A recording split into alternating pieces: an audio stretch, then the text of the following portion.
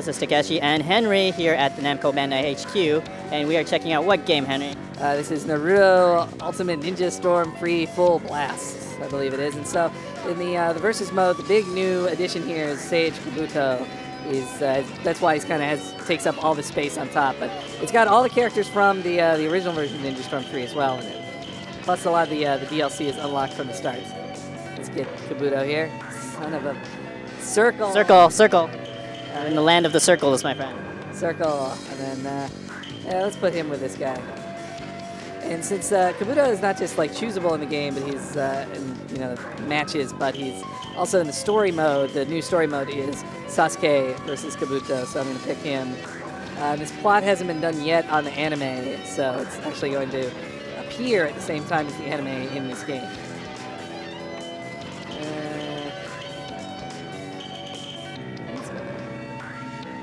Let's, let's see him in action. Kabuto is so creepy. Like, man, like a, his phallic snake and the, his big glasses there. It's weird. Uh, Big snake. yeah. Let's see him go. Yeah.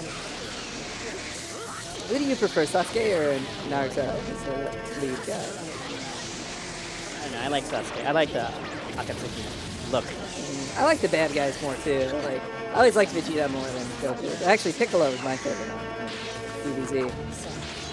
Uh, yeah, I, the second they like introduced them in the comics, I was like, oh, Sasuke is totally like he's clearly the rival in this book.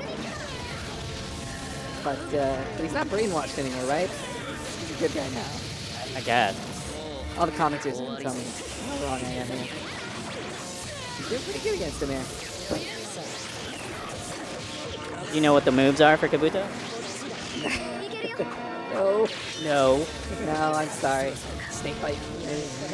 um, uh, but yeah, if you do a couple other things about this game, though, that it's um, it's coming to Steam for the first time. uh, Like it's the first Naruto game ever to be released on PC, uh, and the Full Blast Edition is downloadable if you have the original version of of uh, the game. You can just download it to your to your save file, and it has like uh, 38 custom suits in it uh, that were DLC like unlocked in this.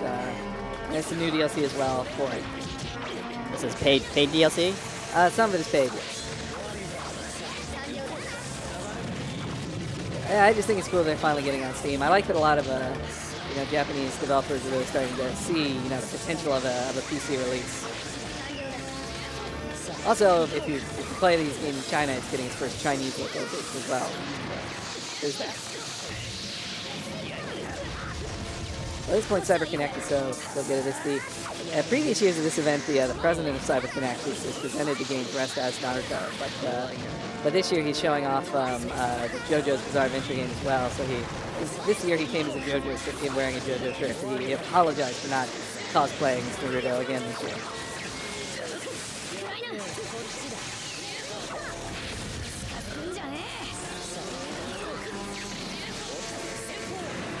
I always feel like in these type of games, though, like the second player uh, would have a disadvantage. Like there's the camera.